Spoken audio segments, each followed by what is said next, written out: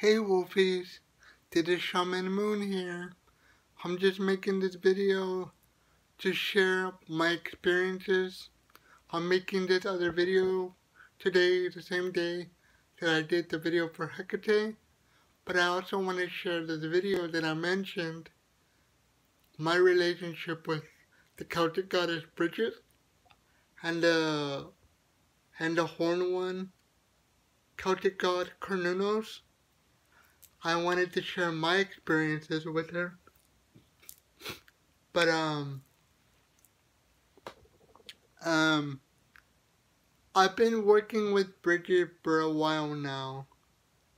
And I noticed that she comes to me, she chose she chose me on this path when I was trying to figure out what path to follow, Wiccan or paganism.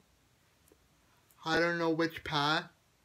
So I was trying, at that time, I was trying to um, find who was my matron goddess. Like everybody does when they're on the Wiccan path or pagan path. So, um, I really didn't know who was my goddess at that time because I was jumping from one goddess to another goddess to another one to another one. I didn't really know who it was that was calling me. I thought it was, at one point, I thought it was Hecate. And I did find out that Hecate was one of my matron goddesses, but not the one. But so later on, I started getting attracted to um, Celtic mythology. I was always attracted to that. And um, she, she kind of was the first goddess to come out and grab me when I was on my path of paganism and Wicca. She was the goddess that did come out and grab me. And I felt like um, she chose me as one of her kin, as one of her children. But I am really, really, really grateful for Bridget. She's helped me through many things. And I'm really grateful for my relationship with Bridget. And I am planning to make it stronger in the future. I definitely want to make my connection with Bridget more stronger. And um, I really want to go along this path doing doing good and I really want to get more in depth in Wicca paganism. So I hope Bridget can help me with that because I was looking for I wasn't really looking for uh, poetry deity, but I know she's associated with Smithcraft, poetry, the arts, um, and um, holy water, and some other stuff. Um, I know her animal was the the lamb, the ewe, the sheep. Um, uh, even vultures. I didn't even know vultures was associated with her. Or owls that were associated with Bridget. Um, I also found out in the beginning of my path that she's associated with the the holiday Imbolc or the season of Imbolc. Um, and she's the goddess of fire, the hearth, and home. She's the goddess of healing. She's the goddess of Smithcraft poetry. Um, she's a triple goddess, so she does encompass what a Wiccan tradition of a goddess represents, Mother Maiden and Crone. She has a very lovely energy, very motherly energy to her, and that's what I like about Bridget. And that's what I love about Bridget. because I am a pagan, I am a witch, but I also like what Bridget encompasses in her type of energy. She can be motherly, but she also can be a fierce warrior goddess. Like super fierce, like straight on, straight on fierce. She's that type of goddess, and I really like her. And um, she also is a good goddess for divination. And um, she's also the goddess of um, poetry, magic, um, um, smithcraft. I think I said that one already. Herb crab, earthcraft, herbcraft, um, herbalism, um, and some other stuff, um, the arts. But my relationship with Bridget, I am gonna share it within the, this YouTube channel, and this YouTube channel is gonna be my relationship as a pagan, as a Wiccan, as a witch, as an eclectic witch, because I do have bloodlines that are Celtic, Native American, Spaniard, and so forth. And I do study all different forms of magic. Not just Celt not just Celtic. I study all different kinds. Hold on, okay? I do study all different kinds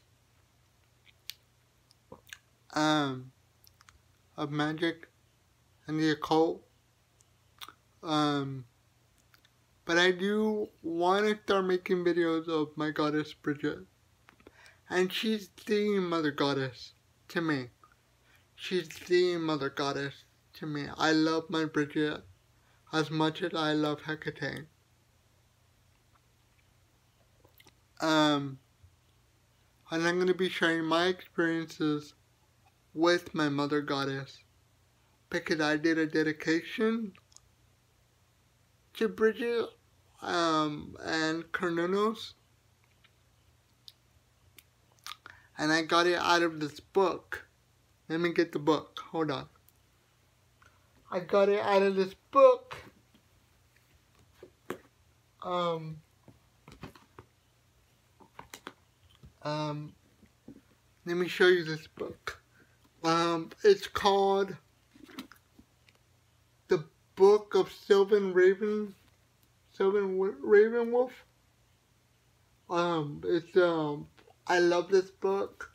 This book is freaking amazing. I love it so much. I think I'm gonna do a review, a review on this book.